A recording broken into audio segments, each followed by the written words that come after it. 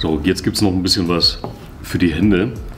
Ähm, mit denen müsst ihr nämlich beim Motorradfahren eine ganze Menge machen. Und ähm, da gibt es jetzt mal die Top 5 Neuheiten für 2022.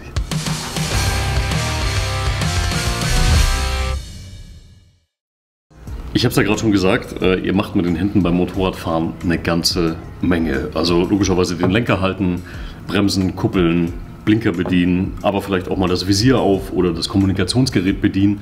Und das muss irgendwie alles funktionieren. Und diese Handschuhe, die ich heute mitgebracht habe, ich glaube, die können das ganz gut. Denn die sind in allererster Linie so ein bisschen für die warme Jahreszeit und dementsprechend schon mal gar nicht so dick und haben dementsprechend auch ein sehr, sehr gutes Griffgefühl. Ausprobieren müsst ihr das immer selbst. Und wenn ihr merkt, wenn ihr in einen Handschuh reinschlüpft und es drückt und zwickt irgendwas, dann lasst es bleiben. Das wird definitiv nicht besser. Kommen wir zum ersten Handschuh. Das ist ein alter Bekannter. Das ist der Held Airstream 2 und der heißt bei uns auch noch LE, nämlich äh, Louis Edition. Den bekommt ihr tatsächlich nur bei uns.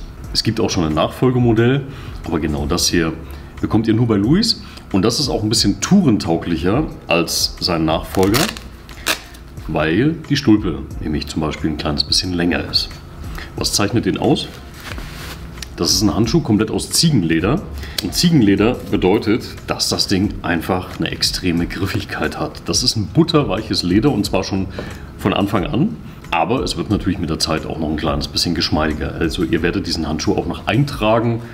Dann kriegt er vielleicht von euch noch ein bisschen Pflege, was ich euch definitiv ans Herz lege. Und dann wird der wirklich noch richtig, richtig weich. Auf jeden Fall ist es ein reiner Schönwetterhandschuh. Das heißt, dass er hier eine ganze Menge so Textilanteil hat, ein großzügiges Meshgewebe.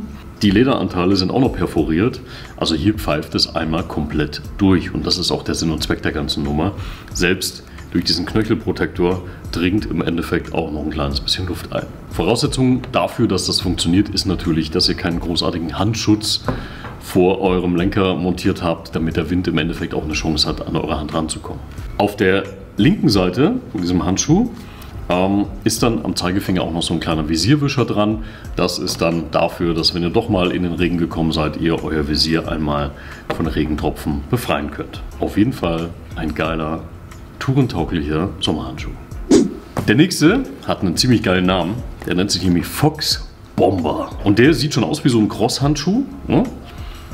Jetzt kommt das Aber. Diese Cross-Handschuhe, die ihr vielleicht kennt, diese ganz, ganz dünnen, super griffigen, äh, ganz, ganz leichten Handschuhe, das sind alles keine geprüften bzw. zertifizierten Motorradhandschuhe. Die hier schon.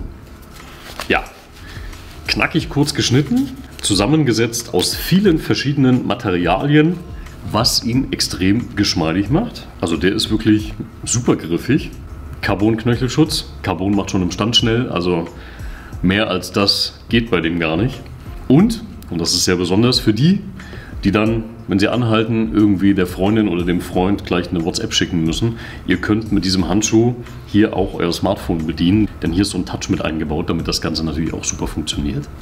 Für den oder diejenige, die es braucht. Ansonsten Handschuhe ausziehen und dann geht's auch. Also, wie ihr seht, kurz und knackig, das ist nichts für die lange Tour. Das ist nichts, wenn es kalt wird. Das ist wirklich für, was weiß ich, je nach Kälteempfinden, was 20, 25 Grad aufwärts.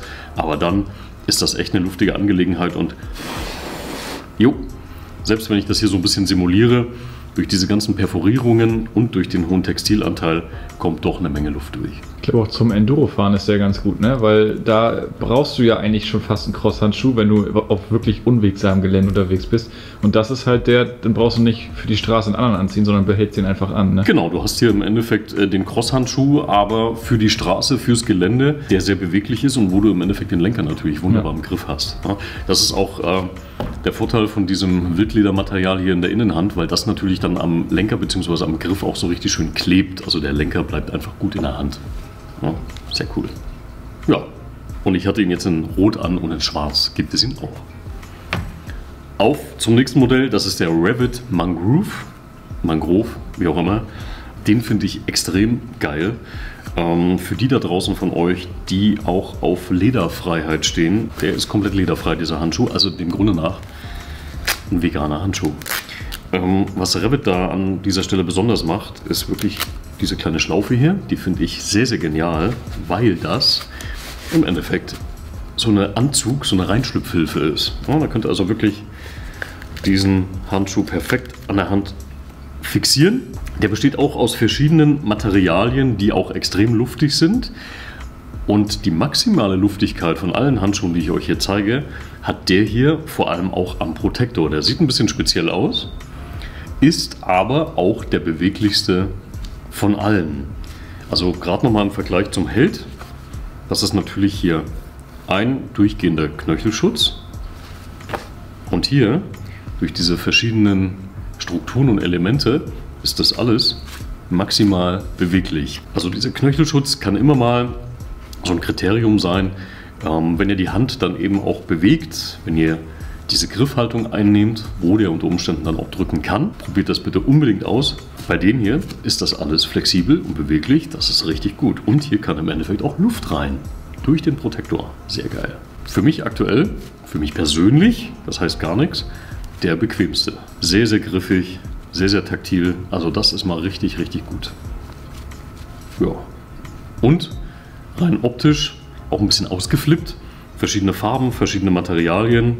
Eigentlich sehr, sehr bunt und dennoch schlicht. Also ja, schaut, was euch da gefällt. Aber der hier, ja, mein persönlicher Favorit und übrigens auch mit Touch-Funktion. Also auch hier könnt ihr direkt mit Handschuhen an von eurer Fahrt berichten. Den gibt es auch noch in zwei weiteren Farbvarianten. Einmal mit Neon und einmal in Schwarz. So, ich spreche es mal mit Absicht falsch aus. Dynasty. Natürlich nicht. Dainese heißt die Firma. Und das hier, das Modell nennt sich MiG 3. Ein Handschuh, der an der Oberhand Rindleder hat und an der Unterhand Wildleder, was ihn auch wieder extrem griffig macht. Ja, und auch den zeichnet aus, dass hier ein großer Anteil Mesh verarbeitet wurde. Es geht hier um hohe Temperaturen, es geht hier um Luftigkeit und es geht vor allem aber eben auch um Griffigkeit. Und auch der kann das von Anfang an richtig, richtig gut. Also das heißt, der ist schon wirklich weich. Der wird mit der Zeit natürlich auch noch ein bisschen nachgeben. Aber hier macht, glaube ich, das Fahren schon von Anfang an sehr, sehr viel Spaß. Hier habt ihr auch einen natürlich Knöchelprotektor aus Kunststoff. Der ist so ein bisschen zweigeteilt. Das macht ihn auch schon wieder beweglicher als einen durchgehenden. Ja, die Stulpe ist ein kleines bisschen länger als, äh, also gerade im Vergleich zu diesem Fox hier. Ne? Der ist also deutlich, deutlich kürzer. Da wird es auf jeden Fall mehr in die Jacke reinziehen. Hier, je nachdem wie lang eure Jacke ist, habt ihr da noch ein bisschen den Schutz durch diese Stulpe des Handschuhs. Ja, und den gibt es eben auch mit ein bisschen auffälligen Farben hier, auch mit Touch-Funktion. Also dem Handy-Nachrichtenschreiben steht auch hier überhaupt nichts im Weg. Auch den gibt es in weiteren Farbvarianten. Und die letzte Neuerung für heute, der DLGW8. Ja, auch wieder ein etwas kryptischer Name. DL für Detlef Lewis. GW Gloves, Handschuhe. W Woman, denn das hier ist ein reiner Damenhandschuh. Das hier ist insofern besonders. Der ist jetzt gerade im Gegensatz zu allen anderen hier überhaupt nicht perforiert. Ich passe auch nicht rein, deswegen zeige ich euch den so. Ähm, der hat ziemlich cooles Innenleben. Das sieht hier so ein kleines bisschen aus wie so eine Picknickdecke, aber es ist eben auch ein sehr, sehr klassischer Handschuh. Und von wegen klassischer Handschuh, das Außenmaterial, das Textil hier auf der Außenseite, das ist auch noch leicht gewachst. Und das heißt, der Handschuh ist nicht wasserdicht, aber er ist zumindest wasserabweisend und auch ein bisschen winddicht. Also, das ein Damenhandschuh ist, für das Klischee, wenn die Damen ein bisschen mehr frieren sollten, der Handschuh ist da ziemlich gut für. Ist kein Winterhandschuh, also dafür reicht er dann eben nicht. Aber so für die Übergangszeit und wenn es selbst im Sommer abends ein bisschen kühl wird, perfekt. In der Innenhand natürlich auch Leder und auch das ist mangels Innenfutter sehr, sehr griffig, sehr, sehr weich. Der ganze Handschuh ist sehr, sehr weich. Also das hier ist für die Dame ein perfekter Handschuh zum draußen rumfahren. Das waren jetzt die Top 5 Neuheiten für 2022. Da kommt noch deutlich mehr im Laufe dieses Jahres. Und, ich habe es auch schon mal erwähnt, probiert bitte Handschuhe aus. Das darf nicht zwicken, das darf nicht drücken. Ihr müsst wirklich ja, immer gut greifen können. Ich glaube, fast in jeder Louis-Filiale steht irgendwo ein Probesitz-Motorrad rum.